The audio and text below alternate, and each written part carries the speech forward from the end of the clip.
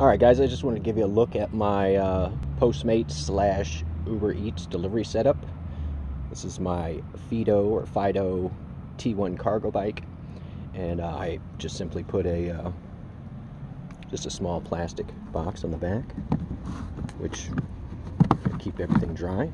Uh, inside, I do carry an insulated bag, not a not a huge one, but it's definitely uh, it'll hold a 16 inch pizza sideways.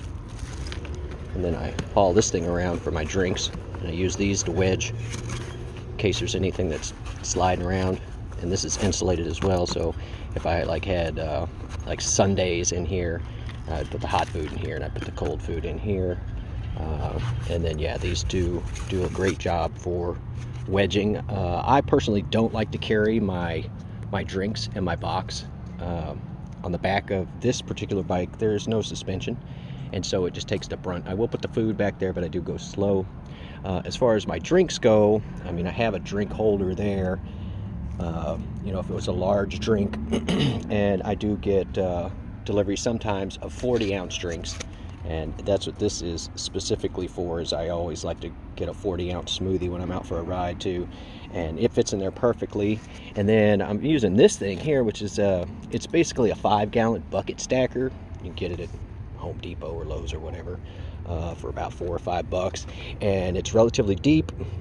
I've just got it bungeed up here, but that allows me to carry uh, three large drinks, plus you know a giant 40 ounce.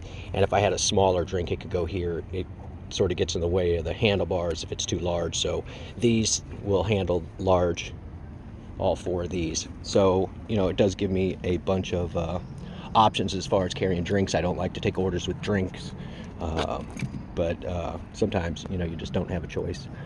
Uh, one of the other things is uh, if you're going to be running on this bike, you can charge from the charge port on the bottom of the controller if you want to. Um, but I usually carry in my pocket, I'll carry a, a power pack and then I hook it through my belt loop. And then that way, when I get on and off the bike, I can place this on the holder here and I'm still attached to it. And if it comes loose, it, it's not dragging the ground. So that's been really handy uh, just to keep from screwing up your cords. Uh, what else on this thing? Oh, you will need a lock. Get a lock if you're going to be running food.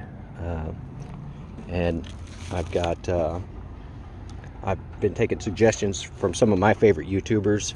Uh, Yogi Steve. I know he got this from, from Wilser, but uh, wedging these pool noodles in there has, has significantly dropped my uh, amount of spilled drinks since I've started using that. So thank you, Yogi Steve